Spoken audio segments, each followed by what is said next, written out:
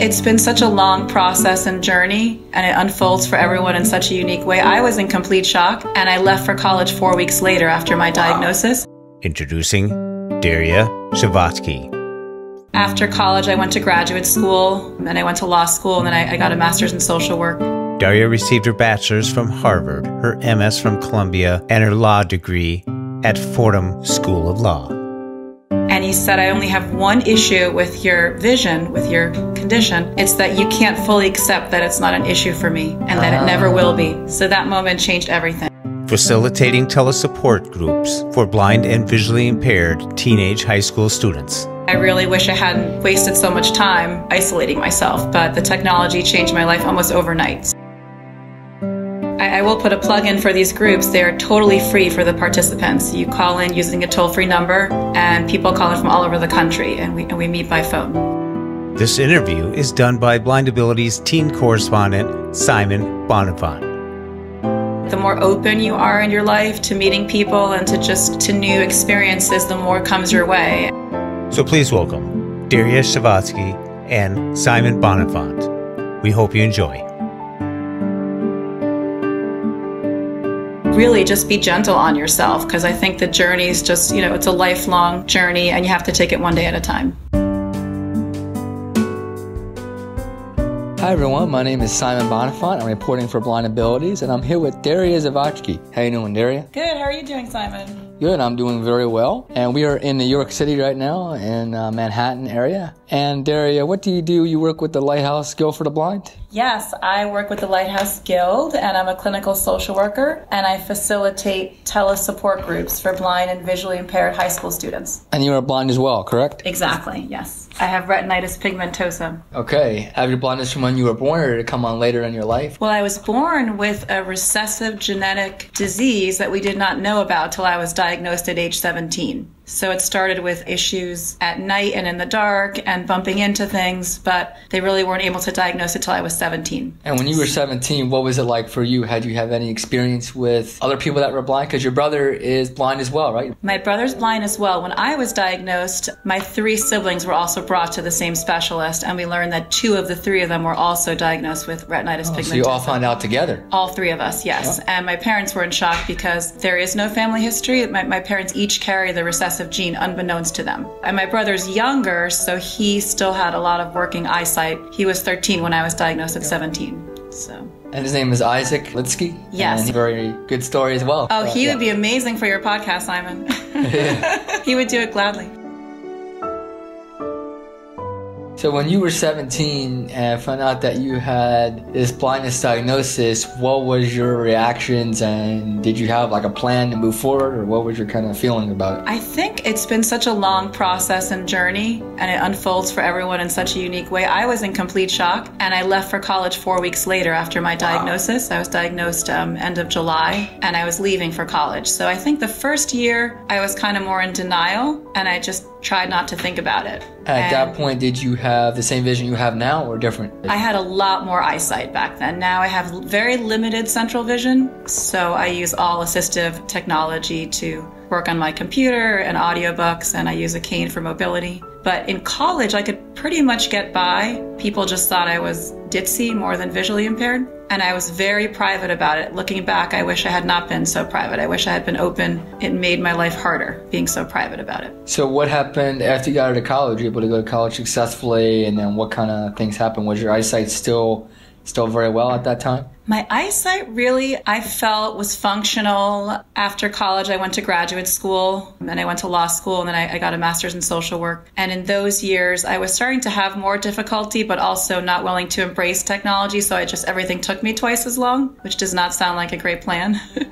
but then really for me, when I had my kids, my eyesight took a very big hit. And, and apparently pregnancy can do that with this type of disease because of the hormones and, uh, and that kind of a thing. After my son was born, I remember I went to a bank machine machine and I couldn't, the screen was just blurry. And that's when I realized I, I could no longer read using my eyes. So that was very. And at that time, what did your husband say about that? My husband's oh. amazing. So we've been together 25 years. We met at age 20. He's really the only person I told, and it's never been a big thing for him. I think he's really an enlightened person. So he knows, like, when you love someone, first of all, there are no guarantees for anyone. And also for him, it's just part of, of who I am. In our early marriage, I was just convinced that eventually it was going to be an issue for him. And then, you know, he would find someone who wasn't, you know, in my mind, had this issue. And he sat me down one day when I had trouble signing our daughter into kindergarten and I was really upset about it. And our daughter was upset about it. And he said, I only have one issue with your vision, with your condition. It's that you can't fully accept that it's not an issue for me and that it never will be. So that moment changed everything. Well, that was an interesting way of him saying it, that he actually had issue with the way you were viewing about him. So he was acceptable of it. Wow, yeah, exactly. I was projecting onto him that it must concern him, it must upset him. And he just said, No, I just want you to be safe and happy and thriving, and it's not a problem. Wow, so that probably was helpful for you as Very well. helpful. It really was a very pivotal moment for me because I finally was able to, I think, also accept it for myself. How did you get the skills and the technology that you have today? How did that come about when you felt like you needed it? Well, after our second, we have two kids 18 months apart. They're now teenagers. For about a year, I didn't email anybody. I didn't look at People magazine, which I loved. And finally, a friend of mine said to call this guy from a, a tech company, assistive technology company. He came to my house and taught me a bunch of things. I got my CCTV and my iPhone, and it just things started changing. I really wish I hadn't wasted so much time isolating myself, but the technology changed my life almost overnight. So that was amazing. And how long ago was that? That was almost 14 years ago now. Oh, and that's been good for you ever since. That's great. It's amazing. And, and that's why I'm so in awe of, of you and the other, you know, teens in our groups who are way ahead of the curve, super enlightened and really discovering things at a much younger age in your lives where you can manage your life and nothing limits you.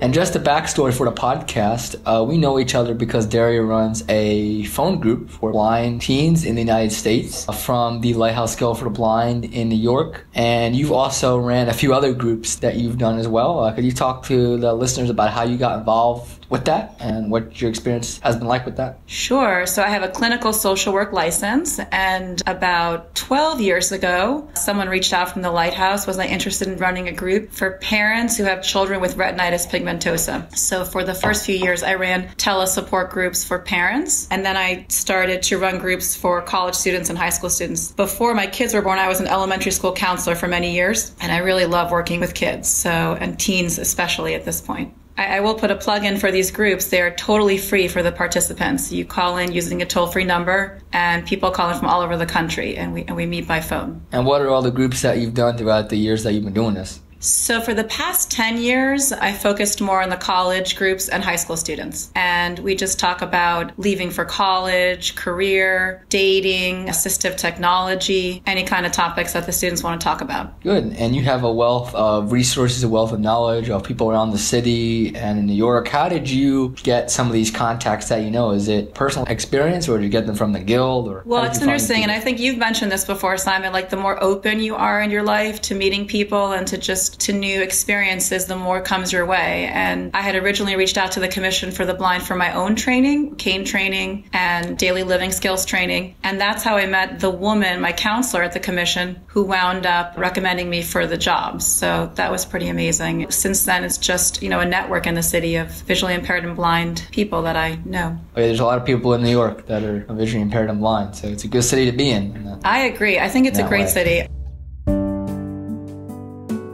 What would you say are some of the most helpful tools that you use, like transportation? What would you say the most helpful tools to you for your success? I'm a cane user. I think about a dog one day down the line. Uh, that definitely interests me. But taxis and Uber and Good. Subway. Yeah, it's very accessible for that in New York too, as well. What would you say would be advice for either students who are blind and transitioning, or older adults who are blind? What would be some advice that you would give to them? I would say don't be hard on yourself. You know, you're going to have good days and bad days. You're going to make mistakes like anybody else. And I think we hold ourselves to a really high standard when we're trying to be independent, for example, but everybody needs help. Sighted people need help and blind people need help. And so the advice I like to pass along to teens is really just be gentle on yourself because I think the journey is just, you know, it's a lifelong journey and you have to take it one day at a time. Mm-hmm. And how was it raising your children being blind, or what is that like for you? Well, I think it's been great because I think it does make them more sensitive, more aware of other people. I used to worry when they were younger that there were limitations I had as a mom, but I think kids are very resilient and when it's all they know, they do great. And I'll tell you one funny story. When I first started using my cane, my kids were about five and six and I had, had learned how to use it and I pulled it out to walk them to school and I had prepared a very emotional, touching speech to tell them all about how people might stare, but this made me independent. And I was going on and on with my speech and I was in tears and I finished my long speech to them. And then my son said, mom, after school today, can we see the new SpongeBob movie?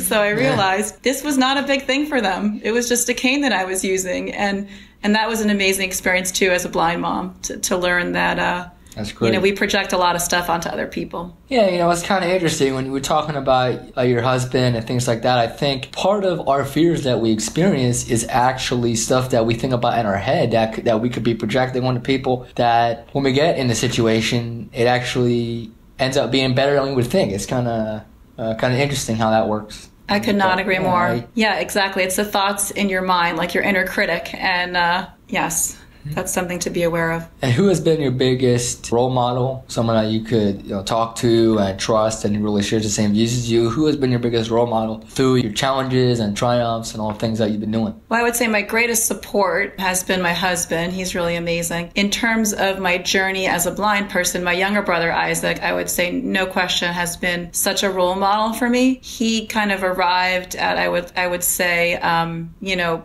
places along his journey earlier than I did and younger, and he was always helpful to me to take that next step. So he's it's been great to have someone I can talk very to. Very good. Yeah, yeah, he's he's a very inspiring. That's a very inspiring person, and so are you. Well, thank you, Simon. So, is there is there any other thing that you'd like to say to the listeners? I was thinking about two themes in my life that have been very intertwined, and, and those are gratitude and friendship. And I feel like anyone lucky enough to have that, you know, as a part of your life, really you can overcome anything. So, gratitude for me, and I talk about this with my brother a lot, when losing our eyesight has really been a lucky experience in a lot of ways. For me personally, I've learned in the deepest sense the power of friendship and kindness kindness uh, in a very meaningful way. And I've also learned how lucky I am, what really matters, not to focus on the small stuff. My friends joke around when you're a mom to teenagers, it's good what you don't see. So I kind of view that as a perk now. Some of the stuff I'm actually missing. So that's really my views about that. and then friendship. And for me, that word's pretty broad. It's just really just having anyone that cares about you in your life, whether it's parents or colleagues or a doctor. And that's another area where going through something medical and, and, being diagnosed at a young age, I think if you're lucky enough to have a community respond and parents respond in a certain way, it just fills your life with so much hope and love and all the good stuff. At the end of the day, if you take the, the bigger picture of your life and zoom out, um, it's really amazing how lucky I feel. So my parents, Carlos and Betty Lidsky, they had three of their four children diagnosed in 1992 out of nowhere, no family history, um, no knowledge about this. Unbeknownst to them, they each carried this recessive gene mutation. And when we were teenagers, they were basically told there's no hope. They're, you know, they're going blind. There's nothing you can do. There never will be. So they reacted in such a resilient and graceful way and basically just said, we have to be a part of a solution, or at least try to be a part of a solution and raise awareness and raise desperately needed funding for scientific and medical research. And in their mission to do that, and I understand that so much more now as a mom, I can't even imagine what that was like for them, but they really rallied. Uh, it started with our whole community, our, our beloved Cuban Jewish community in Miami Beach, Florida. So they just joined us and, and our friends and family tirelessly volunteering their time, putting on events, spearheaded originally by Jaime and Jenny Edelstein. Jaime was actually my childhood pediatrician who is such a loving friend. Uh, Joe and I later on down the line asked him to perform our wedding ceremony, which he did. So he wants me to mention he does not do weddings for the record. He's just a famous pediatrician. but so, you know, people like him and, and our friends down there, they formed this chapter. We, we started this organization, Hope for Vision. And in Miami was the first chapter called Heart Sight Miami. And they started raising, you know, much needed funding, which leads me to another kind of friendship, which for us, we've been so lucky to meet so many wonderful scientists and doctors and specialists all over the world as we learned more about the research and wanted to be a part of supporting it. We've had the friendship of incredible, inspiring, brilliant minds, including my specialist, Dr. Sam Jacobson at the Scheie Eye Institute, who uh, we've known since 1992, who not only fights for every research dollar and has spent his entire life you know, because he believes that there are answers out there, but for the funding, the issue for scientists for so many diseases. But he, I mean, I've literally cried on this doctor's shoulder for decades. so he, he will stay at his office with any patient well into until 9, 10 at night, well after he should be going home and answer questions about research and listen to someone crying, drive them to the Philly train station, you know, insisting you can't take a taxi. So I think it's just been an amazing journey in that way. We had one friend and very well-known philanthropist, Adrienne Arsht, who donated $1 million to Bascom Palmer Eye Institute in Miami, designated for retinal degenerative diseases so yes, I didn't want to leave that out. And and on top of that, you know, the friendships with my friends, like that, you know, my, my lifelong, I call them my sister friends from high school, from college, who help me and, and they're with me in a way that I forget. I, I forget when I'm with them that I can't see the world they see the world, the way they see it, because they forget too. So it's it's just it's really I think such a powerful force my teenagers who are my friends who handle this with resilience and make me feel like any other mom. And of course, I know I mentioned Joe, who's been my best friend for a quarter of a century. We talk about how he's my favorite sighted guide, but also for me, like I feel like in a metaphorical and spiritual sense, he's my sighted guide in the universe beyond just in, in a literal sense. I want to relay the message to other, especially young, young teenagers or adolescents or young people going through this, that if you open your heart and you feel that and you, and you allow yourself to feel deserving, that you can really harness that to accomplish whatever you want and go about, about your life. Well, that's great, Daria. I've always said that if you have family and friends in your life and you're going through a hard time, you can get through anything. Now, going back to your parents, when you were first diagnosed with the blindness, how did they get the idea started that they wanted to do this foundation and how did they get that goal started? So, you know, they reached out originally. They, they, they were in contact with the Foundation Fighting Blindness um, before we, my brother, and then my family were, were running Hope for Vision. But they really leaned on a lot of friends. I think my mom, um, you know, her, her unconditional love, she just couldn't, she couldn't really accept the diagnosis in a way. And she really went about trying to contribute to the science. So in later years as adults, we realized, and we've helped her come to realize, by the way, mom, this blindness gig isn't so bad. so, you know, it, it's okay that you have to be patient and, and maybe the answer will be there and maybe it won't. That's the beauty of the story is that there was no, you know, uh, my brother always says, like when we, when we were younger, it was like the scientists were the heroes and the blindness was the villain. And we were like in a race against time. Who was going to win? But the reality is there is no villain, there are no heroes. These are all just concepts we have going on in our inner minds and, and you have to just really take it one year at a time, one day at a time, accept what's going on and then make the best of it. Just kind of kind of view your life like that.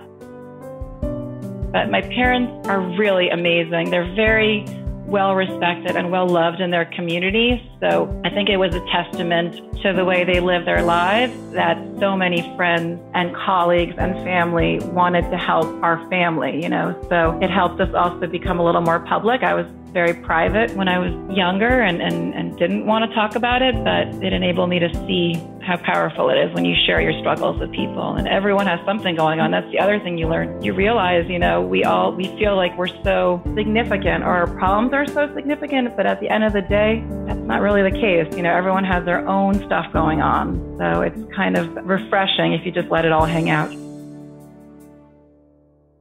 Yeah, I'd say it's significant to us, and everybody's problems is significant to them. You know, like something that we might be going through, somebody else would have no problem with that because they've been doing it or they've had the experience. But then something that they were going through, for us, it might have been, you know, that might have been something uh, real easy that we went through. You know, so it's all uh, like you're saying. You know, it's all uh, relative, and it's true to talk to people to find out that uh, we're not alone in our, struggles uh, through life. So, Simon. Well, I want to, to mention on this topic of friendship one of my favorite quotes, and I'm quoting Helen Keller here, who I don't know if you know is considered the founder of positive psychology of the entire field of positive psychology. She, obviously, she was brilliant and um, amazing. But on the topic of friendship, she said, "My friends have made the story of my life in a thousand ways. They have turned my limitations into beautiful privileges." And that's Helen Keller. Wow, that's terrific for me, that sums up uh, how I feel, you know, about being uh, visually impaired, and and then how I feel about my friends. Or, I really think it applies to any friendship more broadly. Great. I know you just found about blind abilities. You've been listening to the podcast. I know you like that. The brave heart of podcasts. That could be your new uh, tagline. it's true, though. It really sums it up. That's very good.